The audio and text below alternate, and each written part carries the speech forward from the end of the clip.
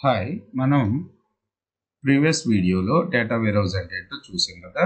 ఇప్పుడు యాక్చువల్గా డేటా వేర్హౌస్ని ఎవరు డేటా వేర్హౌస్కి um, సంబంధించిన కొన్ని క్యారెక్టరిస్టిక్స్ అంటే ఫీచర్స్ ఉన్నాయి సో ఆ ఫీచర్ని బేస్ చేసుకుని మనం డేటా వేర్హౌస్ని బిల్డ్ చేయాలి. సో యాక్చువల్గా ఆ ఫీచర్స్ని ఎవరు ఇన్వెంట్ చేశారు? Okay so will William H Inmon so ఈయన్ని ఫాదర్ ఆఫ్ డేటా వేర్హౌస్ అంటారు అన్నమాట ఫాదర్ ఆఫ్ డేటా వెరోజ్ అంటారు. ఈయన ఒక నాలుగు క్యారెక్టరిస్టిక్స్ని డిఫైన్ చేశారు ఏమేమి అంటే subject oriented non volatile integrated time variant ఇవన్నీ కలిపి ఇవన్నీ ఫీచర్స్ ఉంటే దాన్ని డేటా వెరోజ్ అనాలి అని చెప్పి ఈయన ఫస్ట్ ఇన్వెంట్ చేశారనమాట అందుకని దీన్ని father of data warehouse అంటారు అనమాట దీన్ని father of data warehouse అంటారు. సో ఈయన ఇంకా చూసుకున్నట్టయితే ఈయన ఈయన వే ఆఫ్ అప్రోచ్లో ఈ ఈ ఫీచర్స్ అనేది గురించి నెక్స్ట్ వీడియోలో ఎక్స్ప్లెయిన్ చేస్తాను. సబ్జెక్ట్ ఓరియంటెడ్ అంటే ఏంటి నాన్ వాల్టైల్ అంటే ఏంటి ఇంటిగ్రేటెడ్ అంటే ఏంటి టైం వేరియంటెడ్ అంటే ఏంటి అనేది మనం నెక్స్ట్ వీడియోలో చూద్దాము. ఇక్కడ ఇన్మ్యాన్ మోడల్ యాక్చువల్గా డేటా వేరే హౌస్ని కన్స్ట్రక్ట్ చేసేటప్పుడు మనం వేరే హౌస్ని కన్స్ట్రక్ట్ చేసేటప్పుడు టూ మోడల్స్ని ఫాలో అవుతాం. ఒకటి ఇన్మాన్ మోడల్ అంటాము రెండోది వచ్చేసి కింబాల్ మోడల్ అంటాము అన్నమాట. Kimball okay Ralph Kimball model లేదు అంటే ఇన్మాన్ మోడల్. ఇన్మాన్ మోడల్లో కొన్ని చాలా కొన్ని డ్రాబ్యాక్స్ ఉన్నాయి. అందుకని ఎక్కువ మంది వందకి ఎయిటీ టు నైంటీ పర్సెంట్ మంది కింబాల్ మోడల్నే వాడతారు. కాకపోతే ఇక్కడ ఏంటి అంటే ఇతని ఇతని అప్రోచ్ ఇతని అప్రోచ్ ఏం డిఫరెంట్ కాదు. ఇతను ఒక కొన్ని క్యారెక్టరిస్టిక్స్ని డిఫైన్ చేశాడు అనమాట ఆ క్యారెక్టరిస్టిక్స్ని ఫాలో అవుతే అది డేటా వేరోజ్ అనాలి అన్నాడు. తర్వాత మీరు డేటా వేరోజ్ని బిల్డ్ చేసుకునేటప్పుడు ఈ అప్రోచ్ ఫాలో అవ్వడానికి అతను టాప్ డౌన్ అప్రోచ్ని డిఫైన్ చేశారు అంటే వేరియస్ సోర్సెస్ నుంచి డేటాని తీసుకొచ్చుకుని ఆ డేటాని యాజ్ టీజ్గా డేటా వేరోజ్లోకి డంప్ చేసేసుకోమన్నాడు. ఓకే సో తర్వాత అందులో నుంచి సబ్జెక్ట్ ఓరియంటెడ్ డేటాని కలెక్ట్ చేసుకున్నాను అంటే యాక్చువల్ అంతా డేటా అంతా తీసుకొచ్చి వేరే హౌస్లో డంప్ చేసేసారు. వేరే హౌస్ నుంచి సబ్జెక్ట్ ఓరియంటెడ్ డేటా అంటే సేల్స్కి సంబంధించిన డేటాని సేల్స్ డేటా సేల్స్ డేటా మార్ట్లోను ఓకేనా? సో కరెంట్ అకౌంట్కి సంబంధించిన కరెంట్ అకౌంట్ డేటా మార్ట్లోను అలాగే డిఫరెంట్ డిఫరెంట్ సబ్జెక్ట్ ఓరియంట్ డేటాను తీసుకొచ్చి డిఫరెంట్ డిఫరెంట్ డేటా మార్ట్లో సేవ్ చేసుకుని అప్పుడు రిపోర్ట్లు జనరేట్ చేసుకోమన్నాడు అనమాట దీన్ని మనం టాప్ డౌన్ అప్రోచ్ అంటాం అనమాట ఈ టాప్ డౌన్ అప్రోచ్లో కొన్ని మిస్టేక్స్ ఉన్నాయి. ఏంటంటే ఇది టాప్ డౌన్ అప్రోచ్ అనేది చాలా టైం టేకింగ్ ప్రాసెస్ చాలా కాస్ట్లీ వేరే రోజును బిల్డ్ చేయడం అనేది అంటే ఏంటంటే ఫస్ట్ నేను నేర్చుకునేటప్పుడు ఫ్యాకల్టీ ఎగ్జాంపుల్ చెప్పారు నాకు. ఏంటి అంటే అయితే data warehouse first different sources నుంచి ఫ్లాట్ ఫైల్స్ నుంచి ఓఎల్టీపీ సిస్టమ్స్ నుంచి ఆపరేషనల్ సిస్టమ్స్ నుంచి తీసుకొచ్చి డేటాని యాజిటీస్గా వేర్హౌస్లో పెట్టేసి తర్వాత మీరు అందులో నుంచి సబ్జెక్ట్ రిలేటెడ్ డేటాని లోన్స్ డేటా అయితే లోన్స్ సేవింగ్స్ డేటా అయితే సేవింగ్స్ లేకపోతే అకౌంట్స్ డేటా అయితే అకౌంట్స్ డేటా అంతా కూడా ఇందులో నుంచి ఎక్స్ట్రాక్ట్ చేసుకుని ఒక డేటా మార్ట్ను క్రియేట్ చేసుకోమన్నారు డేటా మార్ట్ నుంచి రిపోర్ట్స్ జనరేట్ చేయమన్నారు okay so every time okay every time ఏమవుతుంది? ఒకవేళ స్పెసిఫిక్ డేటాని ఎక్స్ట్రాక్ట్ చేసుకోవాలంటే మళ్ళీ దాన్ని వేరే రోజు నుంచి మళ్ళీ ఇంకో డేటా మార్ట్ క్రియేట్ చేసుకుని మళ్ళీ అక్కడ నుంచి డేటాని తీసుకొచ్చి రిపోర్ట్ చేసుకోవాలి. సో ఇది కొద్దిగా కాస్ట్లీ వ్యవహారం. అలాగే సో టైం టేకింగ్ ప్రాసెస్ అనమాట అందుకని సో ఈయన చెప్పిన క్యారెక్టరిస్టిక్స్ ఏవైతే ఉన్నాయో ఇన్వాన్ చెప్పిన క్యారెక్టరిస్టిక్స్ అవి mandatory subject oriented non volatile integrated time variant ఇవన్నీ మ్యాండేటరీ సో ఇందులో ఉన్న చిన్న చిన్న డ్రాబ్యాక్స్ ఇక్కడ ఒక లింక్ పెట్టాను చూడండి. ఇందులో చాలా క్లియర్గా ఉంది డేటా వాళ్ళు రాశారు.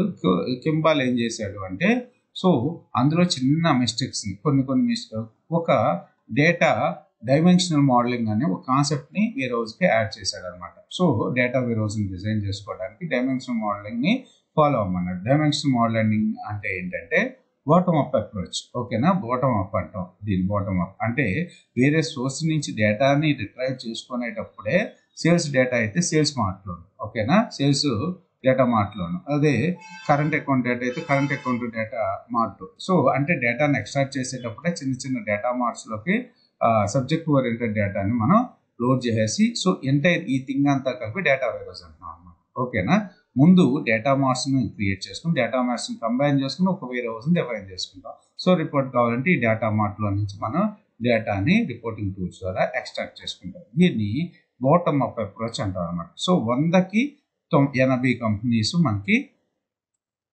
ఎనభై కంపెనీస్ మనకి ఈ కింబాల్ మోడల్నే ఫాలో అవుతాయి. ఎందుకంటే ఇది చాలా ఈజీ ప్రాసెస్ ప్లస్ కాస్ట్ వైజ్గా చూసుకున్నా సరే ఇది చాలా తక్కువ కాస్ట్లో బిల్డ్ అవుతుంది. మరి అలాంటప్పుడు ఇన్వాన్ మోడల్ని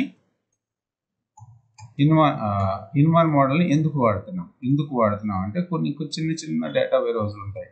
ఓకేనా అలాంటప్పుడు ఇన్వాన్ మోడల్ ఈజీగానే వర్కౌట్ అయిపోతుంది అనమాట ఓకేనా సో పెద్ద డేటా బేసెస్ పెద్ద హిస్టారికల్ డేటా చాలా ఎక్కువ ఉన్నప్పుడు ఓకే వేరే రోజు బిల్డ్ చేసుకునే వాళ్ళందరూ ఇప్పుడు ప్రజెంట్ అయితే ప్రజెంట్ సిచ్యువేషన్ అయితే అందరూ కూడా కింబాల్ మోడల్ని ప్రిఫర్ చేస్తున్నారు అనమాట ఏంటిది? కింబాల్ మోడల్ డైమెన్షన్ మోడలింగ్ అంటాము.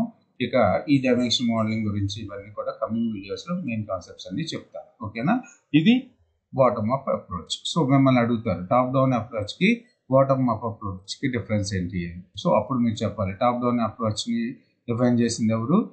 ఇన్మాన్ ఓకేనా? Inmon model. సో ఇతను ఫోర్ క్యారెక్టరిస్టిక్స్ డిఫైన్ చేశారు. సో అందుకని ఇతన్ని ఫాదర్ ఆఫ్ డేటా వేరోజ్ అంటారు. ఇతని అప్రోచ్ ప్రకారం ఫస్ట్ డేటాను అంతా కూడా తీసుకొచ్చి ఒక పెద్ద డేటాబేస్లో పెట్టేసి అంటే విరోజ్లో పెట్టేసి ఆ విరోజ్ నుంచి డేటా సబ్జెక్ట్ ఓరియంటెడ్ డేటాను ఎక్స్ట్రాక్ట్ చేసి డేటా మార్క్స్ కింద డివైడ్ చేస్తాము.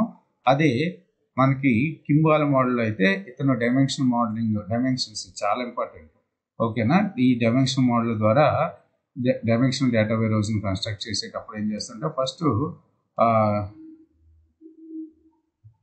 many data marts. So creation of many data marts to satisfy the analytics needs of departments followed by the virtual integration of these data marts for consistency through informational bus. Okay. So ఇవన్నీ కలుపుకొని first ఈ marts అన్ని కలుపుకొని ఒక వేరే హౌస్ని develop చేసుకుంటాం అనమాట సో డైమెన్షనల్ మోడలింగ్ ద్వారా thanks for watching this video ఇక్కడ మనకి మనం యాక్చువల్గా ఎక్కువగా power BI okay power BI రిలేటెడ్గా చెప్తున్నాను కానీ ఇవన్నీ కూడా ఈ ఎవరైతే డేటా వేరోజ్ బిజినెస్ ఇంటెలిజెన్స్ నేర్చుకుందాం అనుకుంటున్నారో డేటా అనలిటిక్స్ నేర్చుకుందాం అనుకుంటున్నారో వీళ్ళందరికీ కూడా డేటా అనలిటిక్స్ నేర్చుకునే వాళ్ళకి కూడా అందరికీ కూడా ఈ డేటా వేరోజ్ కాన్సెప్ట్స్ అనేది చాలా important okay so power BI ETL tool నేర్చుకుంటున్నారు ఏ ఇన్ఫర్మేటివ్గానో లేకపోతే అజు డేటా ఫ్యాక్టరీనో లేకపోతే డేటా స్టేజో లేకపోతే పెంటహోనో ఏదో ఒకటి నేర్చుకుంటున్నారు. వీళ్ళకి కూడా కంపల్సరిగా data warehouse concepts SQL concepts చాలా అలాగే రిపోర్టింగ్ రిపోర్టింగ్ చేస్తున్నారు. ఓకే? ఈ పవర్ బిఐ ఎస్ఎస్ఆర్ ఆర్ఎస్ లేకపోతే కాగ్నోస్ సో ఇలాంటి టూల్స్ ఇలాంటి టూల్స్ నేర్చుకునే వాళ్ళకి కూడా డేటా వేర్హౌస్ కాన్సెప్ట్స్ కామన్ అనమాట ఓకే? కంపల్సరీగా ఈ వీటి మీద నాలెడ్జ్ ఉంటే మీరు ఏంటంటే చాలా ఫాస్ట్గా ట్రాక్ చేసుకోగలుగుతారు. సో ఫైనల్గా ఇక్కడ ఒక చిన్న డెఫినేషన్ పెట్టాను గూగుల్ నుంచి కాపీ చేసి. A data warehouse stores corporate information and data from operational systems and wide range of data resources okay so data wear హౌస్లో మనం కార్పొరేట్ ఇన్ఫర్మేషన్ అంతా కూడా అలాగే ఆపరేషనల్ సిస్టమ్ నుంచి వచ్చిన డేటా లేకపోతే ఇంకా ఎక్స్ట్రా సోర్సెస్ అంటే ఎక్సెల్ ఫైల్స్ లేకపోతే ఫ్లాట్ ఫైల్స్ వీటి నుంచి వచ్చిన డేటాని అంతా కూడా ఒక పెద్ద డేటాబేస్లో అంటే ఒక డేటా వేరోజ్లో సేవ్ చేస్తాం data are designed to support decision making process through data collection consolidation analytics and research so ఈ డేటా వేరోజెస్ ఎందుకు యూజ్ అవుతున్నాయి? డిసిషన్ డిసిజన్ని తీసుకోవడానికి. అంటే ఎగ్జాంపుల్ మీకు చాలాసార్లు చెప్పాను. సో వచ్చే సంవత్సరం నేను ఇన్ని ప్రోడక్ట్స్ని నేను డెవలప్ చేయాల్సి వస్తుంది. ఓకేనా లేకపోతే రేపు వచ్చే సంవత్సరం లేకపోతే నెక్స్ట్ మంత్లో నేను ఎన్ని కూల్ డ్రింక్స్ని ప్రొడ్యూస్ చేయాల్సి వస్తుంది. సో ఇలాంటి డిసిషన్స్ కానీ ఇంకా చాలా ఉండే కొద్ది వన్ బై వన్ కొన్ని కొన్ని ఎగ్జాంపుల్ చెప్తాను. They can be used in analysing a specific subject data such as sales and are the important part of modern business intelligence the architecture of data was developed in nineteen eighties to assist in transforming data from operation system to to decision making support systems. Okay? normally data warehouse is the part of a business main business so normal so so e definition of such a